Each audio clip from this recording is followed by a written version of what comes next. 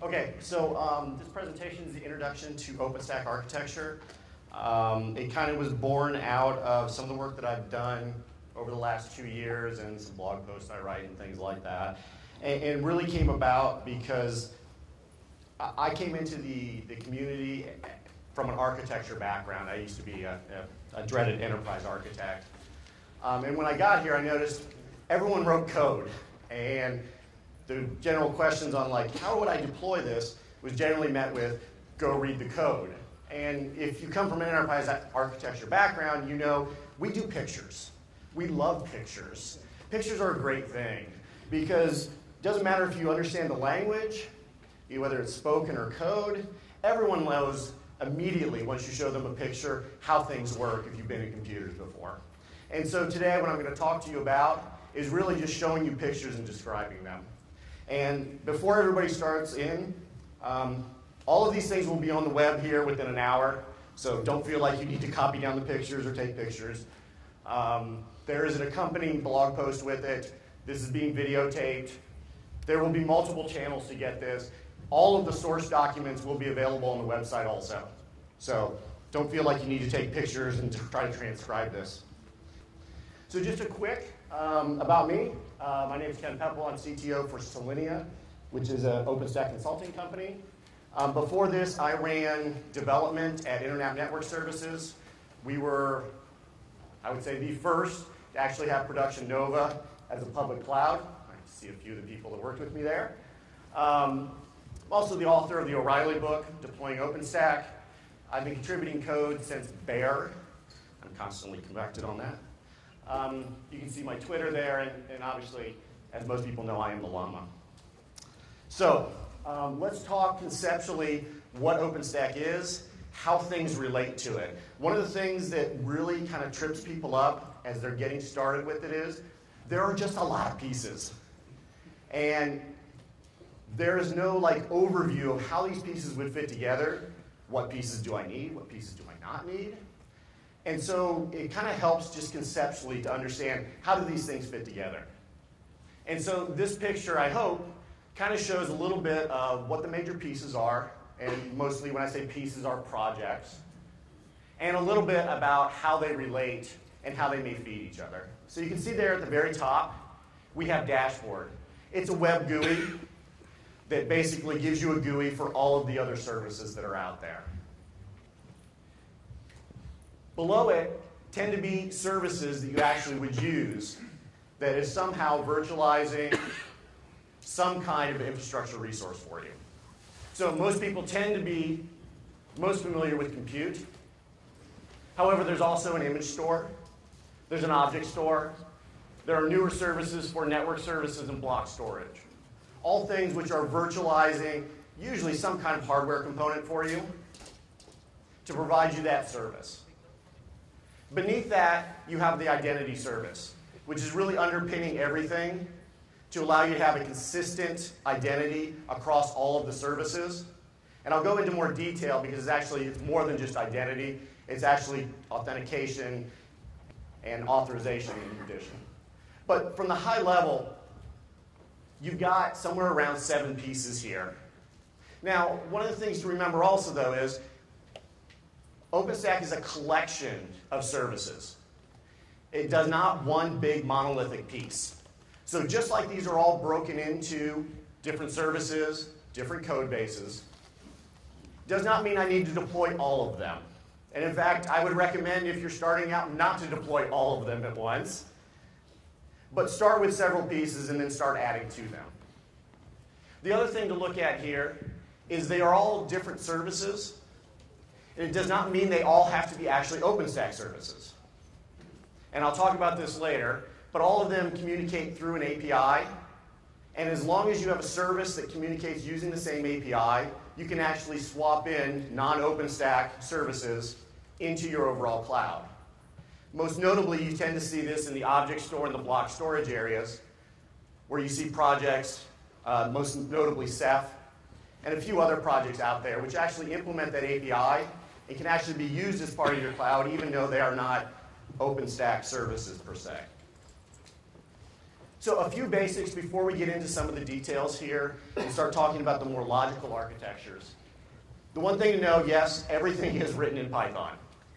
Don't fear, if you come from the Java community, it's not a big leap. I'm an ex-Sun person. I was at Sun for 15 years or so. Um, you will pick up Python very, very quickly. And do not be afraid to go in and dig into the code. The code is actually very legible. It's very well organized. If you've done any object-oriented programming, I will show you some code later here. You will be immediately able to pick this up. In general, end users interact with either the common web interface, which is the dashboard I talked about earlier, or the APIs. Every service has an API. There are no private calls. Everything is done through REST APIs. Now, there are some privileged APIs, but they're all documented and they're all REST APIs. All services can authenticate through a common source, which was identity that I talked about earlier. All services try to interact with each other through APIs also. This isn't always true because some services actually need some intimate details, especially when you talk about compute. But in general, services interact with other services in the same way that an end user would interact with the service. This is really helpful when you start doing debugging because if you have a problem between two services, you can just go in and try to replicate the calls to debug that. You'll also hear that most of these daemons, and when I say daemons, most of the services, are almost always written as what we call paste daemons. Uh, paste is a library for Python, which allows you to create RESTful uh, daemons. It has a special thing called uh, WSGI, or depending how you want to say it, WSGI, Whiskey, WSGI middleware. This used very extensively. That middleware allows you to do pipelining. Uh, you may see this in the Java world, OSGI, um, Rack in the Ruby world. Um, it's used very extensively and is configured through your ini files. It also allows you to do things before requests actually get to a service to intercept and redirect and that's usually used when you're actually doing authentication. So if an unauthenticated request comes in, it actually gets redirected to the identity server for authentication or authorization before it actually gets up to the service that it's been addressed to. So knowing those few things, let's launch in and actually talk about the logical architecture. So a lot of people look at this picture and say, this is really, really complicated. Um, you know, I guess a few things. A, it used to be much more complicated. This is the new Grizzly picture. You can go back on my website and you can see I've actually taken away probably 15 different lines. We've probably dropped 10 or 11 boxes just within the last release or two. And part of this is the maturation of overall OpenStack, but a lot of this is because we've been able to break out services into finer and finer grained services a thing to look at. We'll go through each one of these in detail. But you can see the dotted lines are communications between services using the REST APIs. The solid lines tend to be uh, connections coming in from an end user or some other service which are out there. And then internally, there'll be calls within the services. And we'll go through each one of these here in a second. In general, though, it is not as complicated as it looks. Everything within a box will be deployed um, as one set of code, so you're really only ending up deploying between five and seven services. There are actually very few connections between services other than identity, which obviously everything talks to, and dashboard, which talks to everything. So it's not nearly as complicated as people look or, or seem to think, um, especially when you start decomposing it down into the individual services. The nice thing is, with each one of the individual services, they are pretty much standalone so that you can isolate and debug them in isolation. You'll see at the top, that's end users. Um, end users interact through the services just like any other, um, uh, any other library would or any other tool would. So there's command line interfaces for every one of these APIs that you can run if you're a command line kind of person.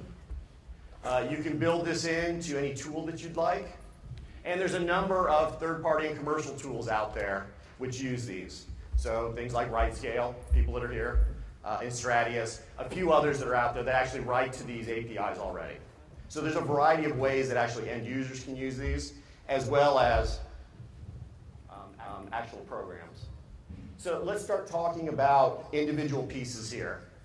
So the first one I tend to talk about is identity, because you need to have identity for everything else.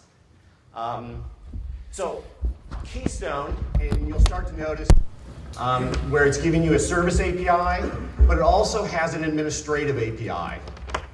And you'll find that most of the services uh, within OpenStack follow this model, where they'll have an external or a user API, but also a privileged API called the admin API.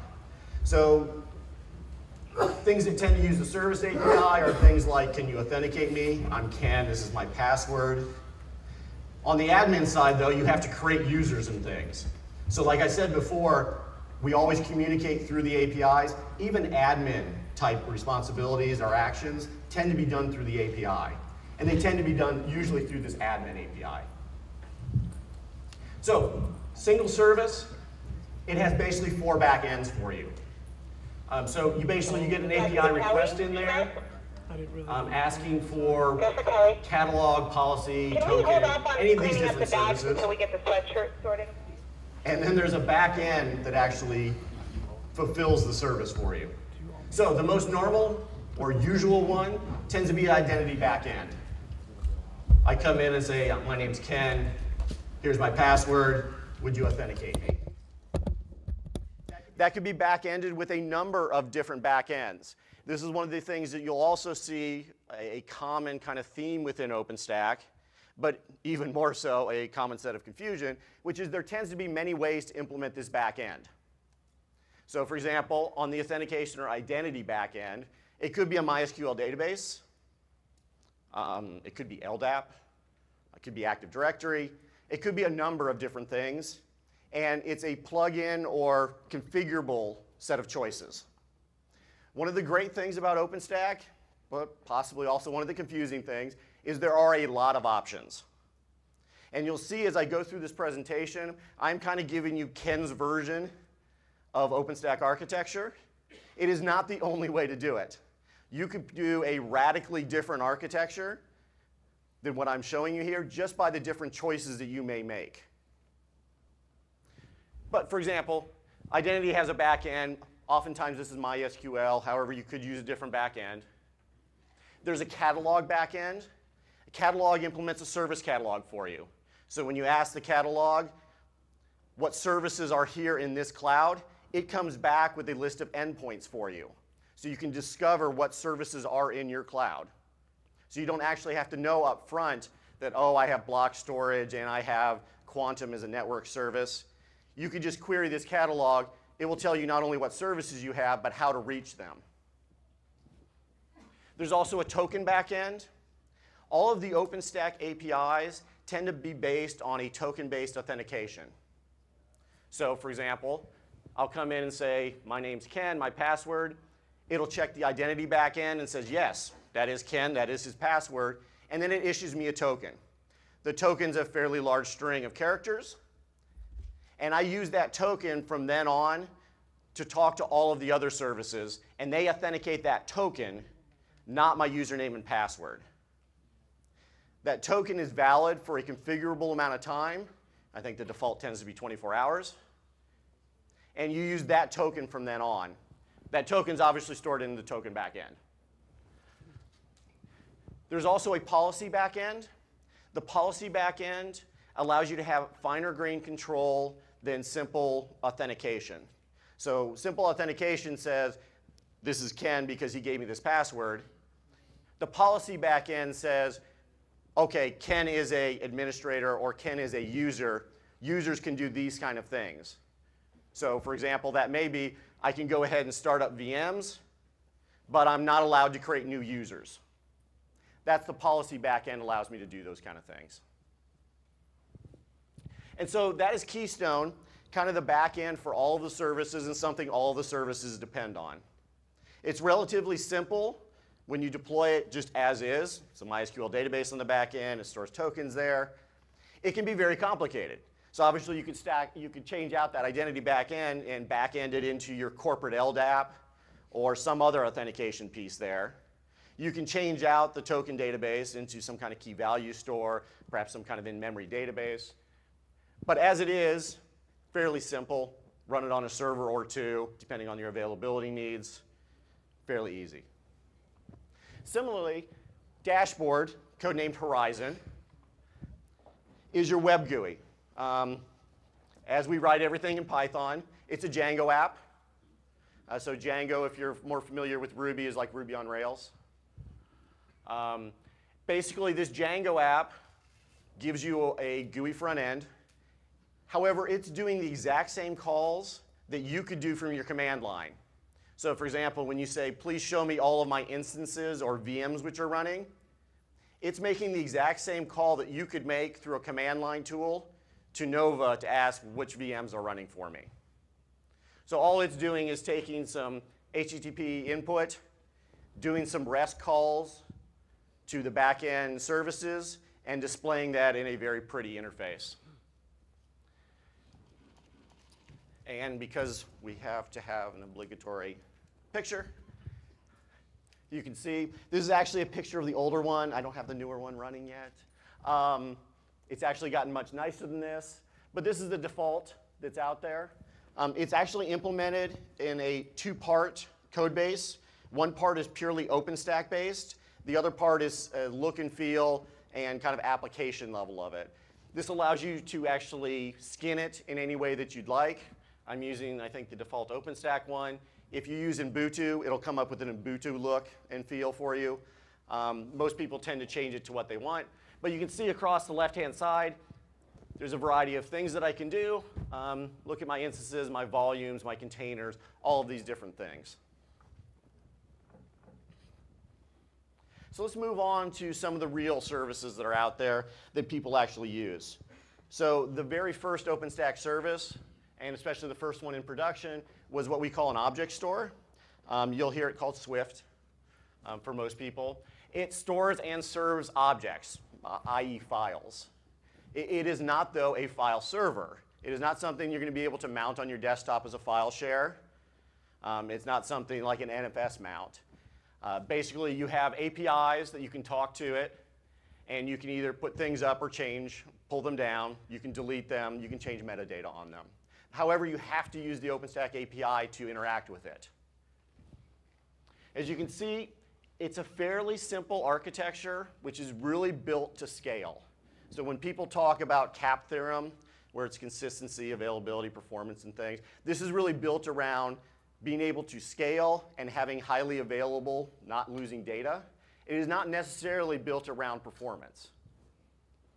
As you can see, though, it has kind of a multi-tier architecture. And you'll see this within the other services as well. It tends to have some kind of API service or daemon that runs, and then a number of worker daemons that sit behind it that actually do things. So in this example here, we have Swift Proxy. Swift Proxy actually handles the API calls that you're going to make to it. So when you upload or download something, you talk to Swift Proxy. Swift Proxy then talks to other things to make that happen for you. So for example, in this particular one, in Swift, there are three major daemons which tend to run to store things for you. Two of them are fairly simple. One's the account database, which is who actually have an account. Can I map a user to an account here on Swift? There's a container database, which maps accounts to folders or what we call containers. And then there's the object database, but the object database is actually a store. While the account and container databases are implemented as SQLite databases, the object store is actually implemented on disk. So basically you have files which will be put onto disk, and there's a mapping to put them on there. And then any metadata that you'd actually like to be able to attribute to those objects are actually written into the file system as extended attributes. This limits the file systems that you can use to ones that support extended attributes. The most common ones tend to be XFS or ext4. And that's actually where you actually get the metadata from those. So you can see it's a fairly simple architecture from a logical point of view. This is one, though, that actually, from a physical point of view, when you actually implement this, tends to be much more complicated because obviously you want a very large store. This can be 50, 200, 500 machines implementing this. With just a few of them running Swift proxy, but most of the other ones actually running the account container and object databases.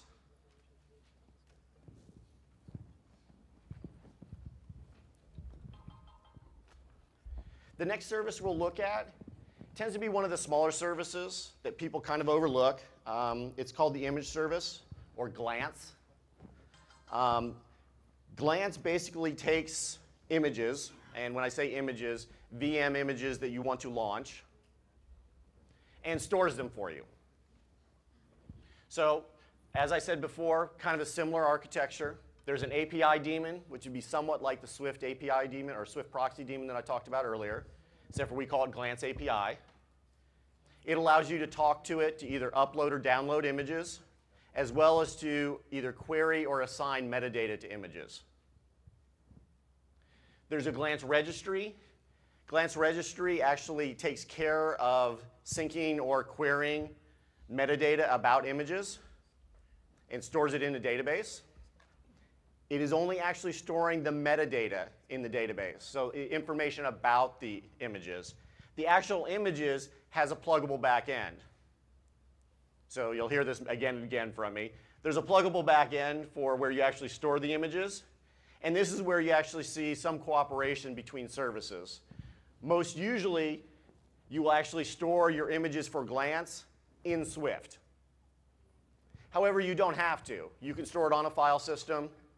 You can store it in other places. Uh, I think there's four different choices that you can make there. Um, but basically, the only thing it does, it stores an image, it retrieves an image for you.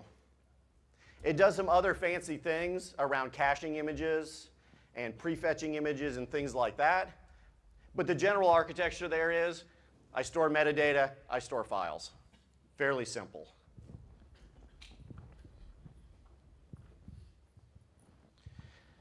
The one that everyone actually looks at and always wants to talk about, it tends to be one of the more complex ones, which obviously is compute. Um, compute's called Nova as a code name.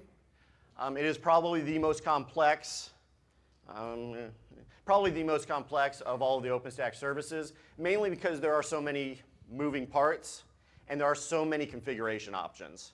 I think at one point, one of the Cloudscaling guys added up the number of configuration options, and there were somewhere above 400 that you could set here. Um, having said that, while there are a lot of configuration options and there are a lot of moving pieces, should you follow the simplest path is actually quite simple. And it's fairly easy to get going. Looking at this, it does follow kind of the similar architecture that you've seen in the last two daemons that we talked, or services that we talked about. However, there's just a lot more that's going on here because there's a lot more functionality. Everything kind of starts up at the top there with Nova API. Nova API accepts all of your API calls, and then usually will do some kind of mediation on them to start some kind of orchestration for you. Now, some of these tend to be fairly minor. So for example, if I query it and ask for my, my VMs which are running, it's fairly simple. It looks in the database where we're storing most of the state. We'll grab which ones are mine and sends that data back to me. Some things are much more complicated. So for example, I want to start a new VM, or perhaps I want to actually assign a floating IP or a public IP to it. Those tend to be much more complicated and tend to use some of the other pieces that we're talking about here, which I'll kind of talk in a second here. However, it also does a few other things. It does enforce policy. And when I say policy here, the policy is slightly different than what I talked about policy in Keystone. Whereas Keystone is a binary, can I do this action or can I not do this action? This is actually a quota-based system. So there are somewhere around 10 quota items that you can have for any particular user or tenant. And when I say tenant, tends, tends to be a company, and you can have users underneath that. Um, it actually allows you to set quotas on that. So for example, the total amount, gigabytes of RAM that you're using in all your VMs, how many VMs you're running, um, how many IP addresses you're using, things like that. And it actually does those checks also.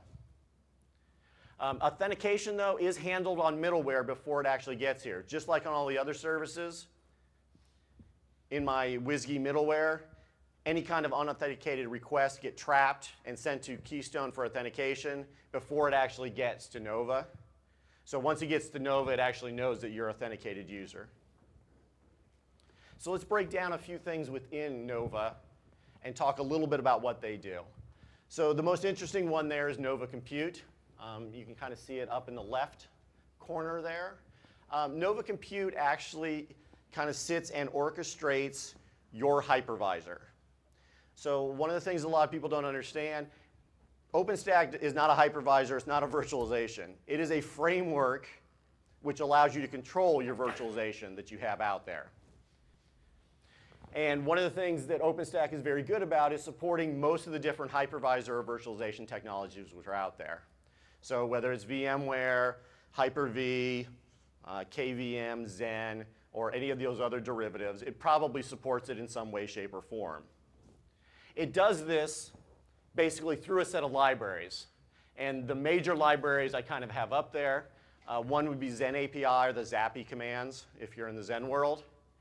Uh, libvirt for KVM, uh, the VMware API, or different libraries which are out there to actually do the orchestration for you. The process why, by which it actually does this is somewhat complex, but it's fairly easy to step through if you just know that some simple pieces. So, for example, if we're going to go ahead and start up a new instance, a command will come into Nova API. Ken would like to start up an instance, a large one, let's say. Nova API will make sure that I'm authenticated and that I'm under quota. Once it's determined that, it will go ahead and send out a message into the message queue. The message queue is basically how all of our daemons within Nova interact by sending messages back and forth to each other. So the message it'll send out is, Ken wants to do a large instance, and the first thing it actually sends out to tends to be Nova Scheduler. Uh, Nova Scheduler, if you've come from the HPC world, uh, a scheduler basically determines where you should run a job or what kind of resources you should use. So the first thing it'll ask is, Nova Scheduler, where should Ken run this large instance? There's a variety of different ways it can do that, and on the next slide I'll show you a little bit about that. But Nova Scheduler usually comes back with a simple thing which says host C or host 12. Um, that is where you should go ahead and run that. Once that's there, host 12, which is running Nova Compute on it, and it's one of my compute hosts, we'll go ahead and get a message that says, we need to go ahead and start up this instance for you. This is actually a place where we've changed a lot in OpenStack Grizzly from previous versions of OpenStack. Before, everything would actually, as we change things, so for example, as a queue message came through, everything would be updated in the database. And we would just send through on a message the actual action, but none of the associated metadata with it. With the new version of Grizzly coming out, they've actually implemented something called no, compute, no DB compute, which is isolating Nova Compute, which tends to be the most security vulnerable piece of our code because it runs on a hypervisor where actually end users run stuff, which, so it's the most easy to exploit. And it's actually isolated that from the database. So it no longer has credentials for the database and no longer talks to the database in case it does actually get exploited. So what will happen is it will get actually a message, Nova Compute will, which has the metadata of the size of an image I want and all the metadata around that as well as myself and my credentials. And it will go ahead and talk through whatever library it has to actually make that happen on the hypervisor. So for libvirt, it goes through libvirt, and just like you would do on normal command lines, if you're on a KVM machine, it goes through those same kind of areas. Now the interesting thing here is it obviously doesn't have an image. So part of what got sent to it was Ken wants to start a large instance. By the way, it's an Ubuntu 12.04 instance. Once it gets that, it actually talks to Glance. So Nova Compute will talk to Glance over the same API that you use to talk to it. and will pull down that image for me. So Nova Compute says, glance, can I get the 1204 image that Ken wants? It goes ahead and streams that down to it. It now has an image for 1204. It does all the magic that KVM or Xen or anyone does to create an image, and up it comes. Once it's done that, it actually sends messages back to a special daemon that's new within Grizzly called Nova Conductor. Nova Conductor's sole purpose is to mediate access to the database for Nova Compute today. So instead of Nova Compute actually having credentials for the database and being able to talk to it, it talks to Nova Conductor. Nova Conductor then actually updates the database and takes care of all those database accesses. The database there that I've talked about basically stores all of the state of your currently running cloud. So while it doesn't necessarily have like user credentials and things, it does have, oh, Ken's running three different instances. One of them's on host 5, one of them's host 12, one's on host 17. It's carrying the current state of your database within there. Sorry, the current state of your cloud in the database. That database can be implemented in several different ways. Most people tend to use MySQL. However, you can use SQLite, which isn't a good choice, or Postgres if you'd like also. Likewise, the queue can be implemented with different technologies also. Most people tend to use RabbitMQ. However, for example, Red Hat uses Qpid. Cloud Scaling uses ZeroMQ, which they've written. Um, and you can use basically different queuing technologies also for that. There are a variety of other um, daemons which run here, which allow you to have a few other services. The most notable ones you'll see there tend to be console services. Uh, most people want to be able to get into the console of either your Windows, applica- your Windows VM or your Linux VM, and those actually allow you to get into those to see those. I talked earlier about Nova Schedule. Um, the scheduler is if you come from the HPC world, it's one of these classic computer science problems, which is how can you most efficiently pack VMs of different sizes onto compute resources. It's actually conceptually the simplest probably piece that you have, which is you get a request saying, I need to schedule this size of VM onto a host. Please tell me which host. In reality, it's probably the most complex, um, but you can have something very simple. So for those of you who don't write, read Python or write it, most of you could probably look at this and say, here's my major area there. Host equals self filter host. Filter host is a database call. The request spec is the size I'm looking for. Those are the hosts I've got. If I can find a host, if I'm sorry, if I can't find a host, raise an error. If I can, this one is a particular, it's a random scheduler. It just picks one of the hosts at random for you. Like other things in OpenStack, it's configurable. So there are many different schedulers which are out there.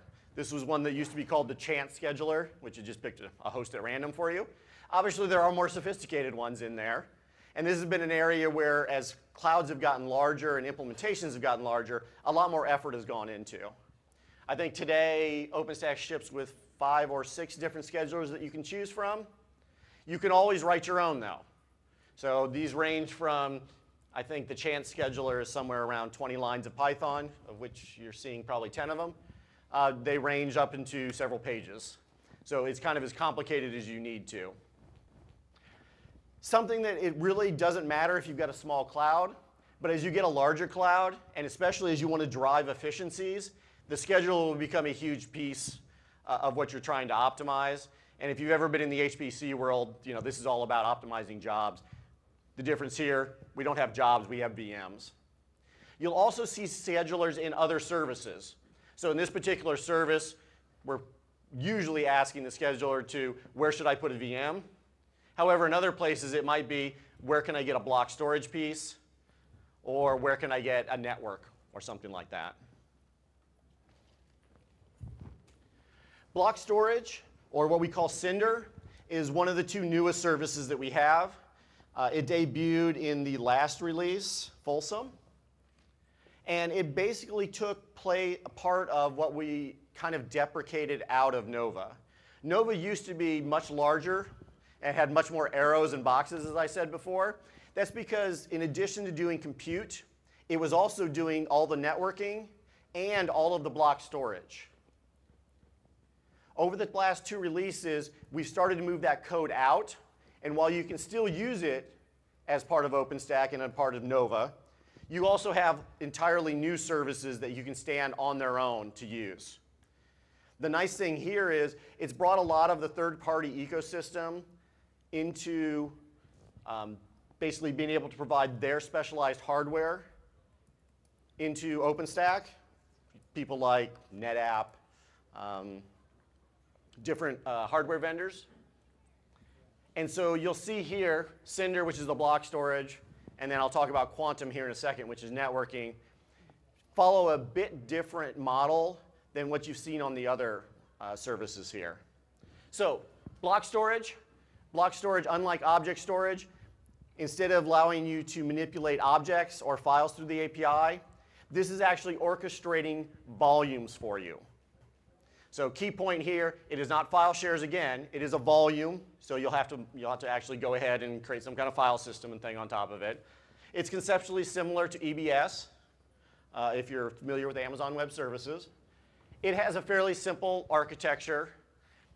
The thing you'll notice though is the architectures change dramatically depending on what actual pluggable modules you've used here. So whereas before I talked about you can use different hypervisors and that's configurable, here you tend to pick up different hardware pieces. So whether you're using IBM or SolidFire or NetApp or Zadara or just you know iSCSI out of Linux, the architecture will change a bit because you actually have usually some kind of hardware appliance in there and there's probably some kind of specialized way to talk to that. But the basic architecture, very similar. Cinder, Cinder API, which basically routes your commands as well as accepting API commands. So for example, can I have a 10 gig block storage unit? Cinder volume, which actually does most of the work here. It actually talks to the database as well as orchestrating what we call the volume provider. The volume provider is actually your block storage. So whether it's SolidFire, NetApp, or whatever it is out there, it actually talks directly to that to carve out that 10 gig block storage item for you and make it available.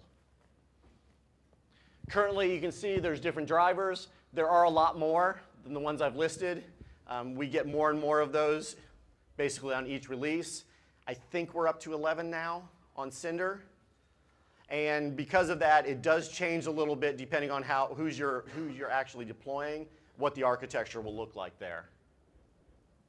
The final piece here is Cinder Scheduler. Just like I talked about compute schedule, you have to pick where am I going to get that 10 gigabyte, sorry, 10 gigabyte volume from. The scheduler will actually choose that for you. So for example, if you have a five or six different NetApp filers or their NetApp boxes, it will pick which NetApp box to get that 10 gigabytes from for that volume. The last piece we'll talk about here today is networking. Uh, it's called Quantum. Quantum takes place in what we used to call Nova Network. Uh, Nova Network was built into uh, Nova before. It got moved out, and this is probably the place where you see, A, the most complexity today, as well as probably the most speed or velocity in code movement. So, uh, Quantum allows you to create both layer 2 and layer 3 networks, depending on which pluggable backend that you've chosen as well as assign public and private IPs to your instances. It has a fairly, uh, and I, I say this a little bit with air quotes because this architecture changes radically depending which provider you've chosen here. I've kind of taken the picture that shows you the Linux uh, networking one. However, if you would go do the Cisco one, for example, there's probably six more boxes up there. Um, if you go do Nicira's NVP, there's a few more boxes up there, and there's some external machines also for that. But from the high point, you have Quantum Server, which serves as your API request, as well as some orchestration pieces. You then tend to have, depending on which provider you've chosen, And I don't have all the providers up there because I believe Brocade's up there now. Um, depending on what provider you've chosen, you usually will have a number of agents as well as some plugins. The plugins actually provide the logic for you as well as the registration in the database about these layer 2 or layer 3 networks that you're creating. Whereas the agents tend to run out either on the particular network uh, appliances that you have or will control those network appliances to actually, to actually provide that for you. There's some common agents which are out there. Again, this depends on the plugin you're using or the vendor you're using. But the agents tend to be a layer 3 agent, a DHCP agent. Uh, there's specific plugins um, for specific network items. And new within um, the Grizzly release, you also get load balancing and a few other new network services that are also part of this. Again, this changes dramatically depending on who you've chosen, but that's kind of the, the basic architecture that you see there. We're getting towards the end here, so I will talk about, there are two future projects which have been accepted, not into Grizzly, but into Havana. So as we go to Hong Kong in October, um, there are two new projects which will debut. One is called Ceilometer. A Ceilometer is a metering database. So it gathers uh, basically metering statistics of things which are running on your cloud. Metering is not the same as billing. Uh, it basically provides the raw data so that you could bill. So this will give you the metering data that you would then send up into an ARIA, Zora, the OpenStack billing stack uh, project that you could then rate and actually send bills to people on if you're a service provider. Uh, Ceilometer's been around for mm, six months or so, but it's come very, very far, very fast. Um, some people are actually using it in production now. And then Heat. Um, Heat provides a REST API for orchestration. So kind of like AWS CloudFormation, um, it actually provides the ability to launch multiple instances at a time and orchestrate them. And that will be coming in the next release also. In addition to that, there are many other projects which are not considered core projects. Um, things like Moniker, which is DNS as a service and there's a few others which are out there also. Those, although not core, obviously work with OpenStack, and hopefully someday they'll probably graduate into this also. So with that, I think I'm out of time. Um, I will be posting um, all of this onto a blog post at solinea.com here as soon as I can get some bandwidth. Um, all of these pictures are in OmniGraffle, um, but I'll try to put them also into Visio if you need them. Um, all of this is in PowerPoint, and there are some blog posts which go with this also. Otherwise, thank you for your time, and I'm happy everyone was able to sit for the entire time. Thanks. So after this, um, Diane and I uh, will be introducing Anne Gentle. Anne will be coming up here and telling us wonderful things about documentation and joining that community. So Please come back in a few minutes.